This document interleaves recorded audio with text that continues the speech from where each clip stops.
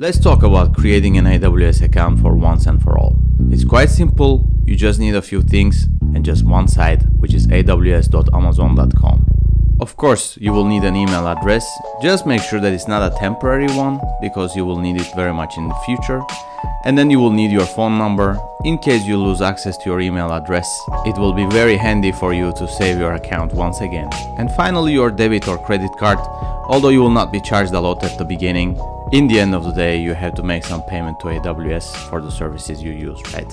So let's go ahead and create our first AWS account. We are in aws.amazon.com as mentioned earlier.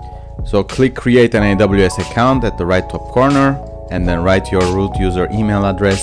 Remember we will use it for quite a long time, although you can change your account name later on and verify the email address by going to your email inbox. Just copy and paste the code that you will receive for the verification and then after verification you go ahead and write your root user password and make sure it's a good one. You can pick a personal one here and all the details you will add, they are no big deal, but they will be used for your invoices and so on.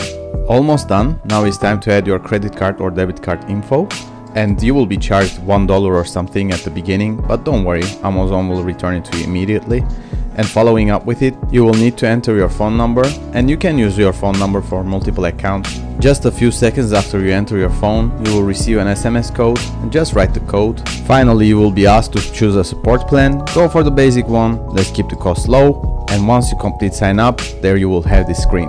Congratulations, your AWS account is ready for use. The root email account that you register with, you can use it to log in and of course your password as well. So this will be officially your first access to famous AWS console. Navigate around, discover regions, discover tools and later on we will do many other projects and use it properly.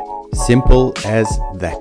Let me know if you have any questions, if there are any details that is unclear. I tried my best to keep the video as short as possible and this will be my habit for the near future as well. And thank you for your attention.